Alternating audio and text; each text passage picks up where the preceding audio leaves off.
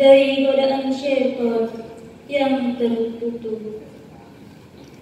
Dengan menyebut nama Allah yang maha pengasih lagi maha penyayang. Dijadikan terasa indah dalam pandangan manusia cinta terhadap apa yang diinginkan berupa perempuan-perempuan, anak-anak, harta benda yang bertumpuk dalam bentuk emas dan perak.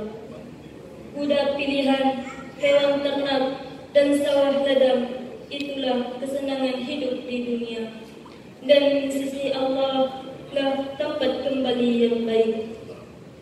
Katakanlah, maukah aku kabarkan kepadamu apa yang lebih baik dari yang demikian itu?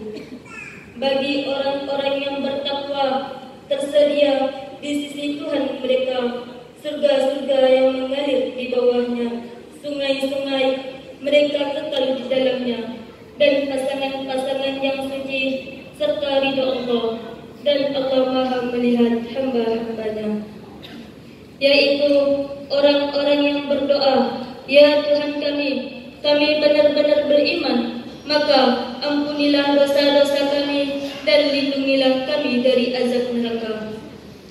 Juga orang yang sabar, orang yang benar, orang yang taat, orang yang menginfatkan hartanya, dan orang yang memohon ampun pada waktu sebelum fajar.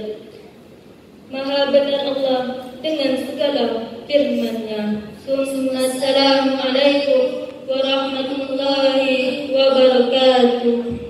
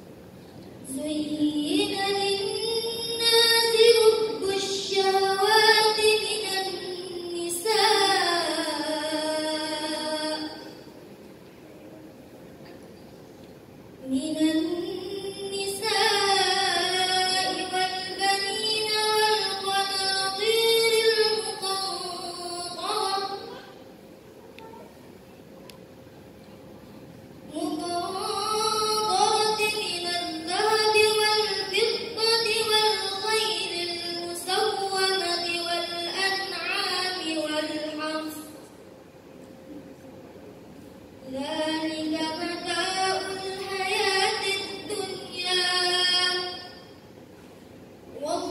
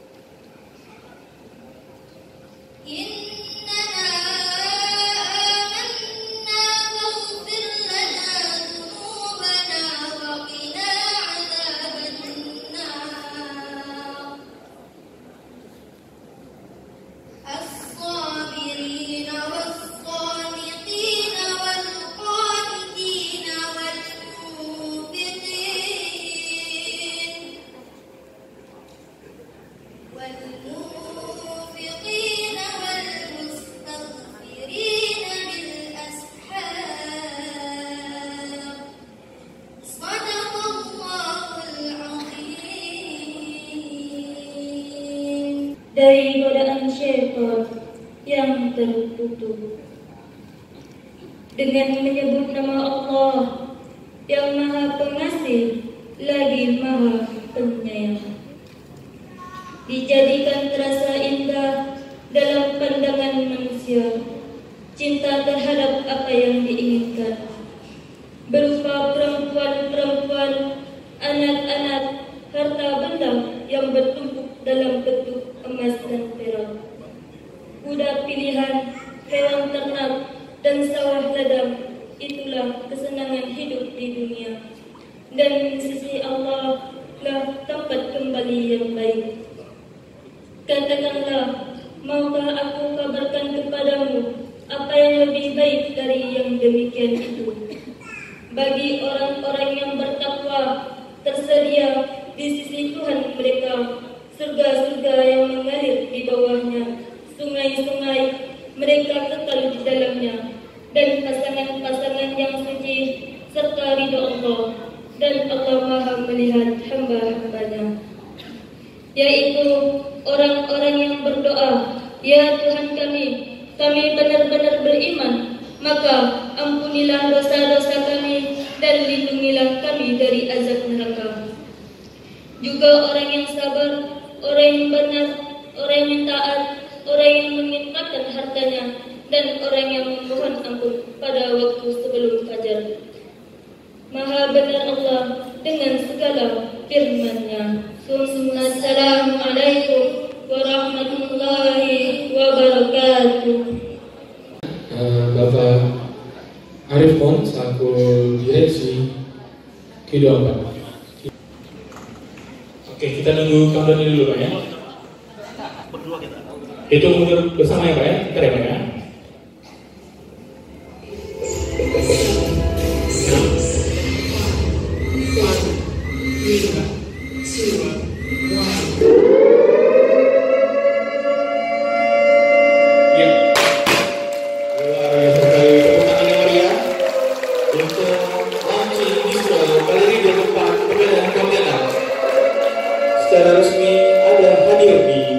Pontianak. Oke, sekali lagi berikan tepuk tangan meriah. Untuk itu eh, mungkin sesi foto bersama ya. Ya. yaitu eh, penyerahan buku tabungan emas eh, dari Bapak Arif Mon selaku direksi Galeri 24 eh, tabungan kepada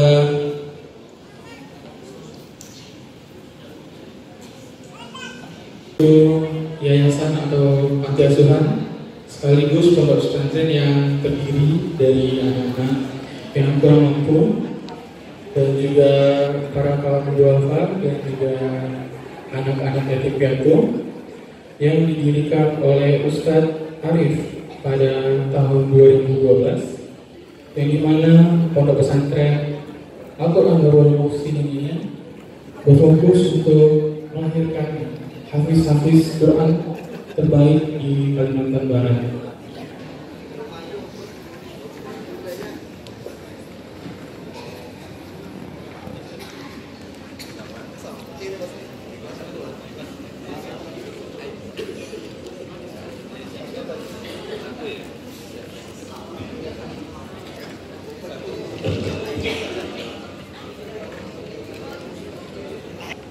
Dan lukisan ini diserahkan langsung oleh Bapak Arif Mon selaku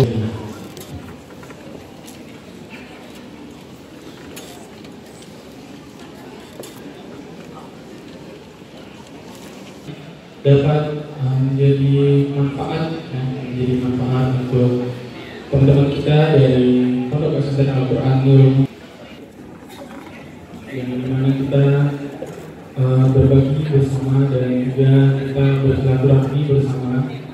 dengan uh,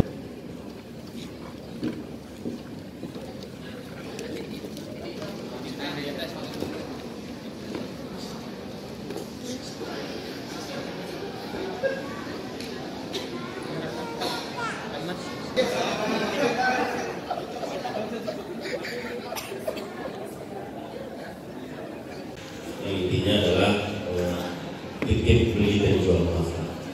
Insya Allah adik-adik kita yakin kalau ke depan ini bisa ada rezeki ditambah lagi saldonya Pak. Mudah-mudahan ini bisa jadi modal. Pertama kami ingat bahwa insya Allah anak yatim ini adalah tanggung jawab semua muslim ya Pak ya. Rezekinya pasti selalu ada.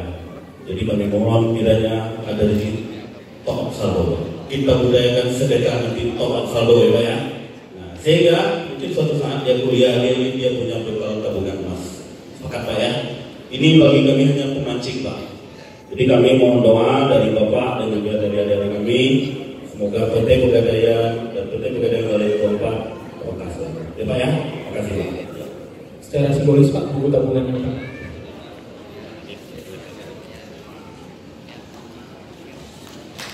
Oke, boleh berikan tepuk tangan yang meriah kepada Pegadaian dan juga Bapak Abdullah, salah satu pimpinan dari Bapak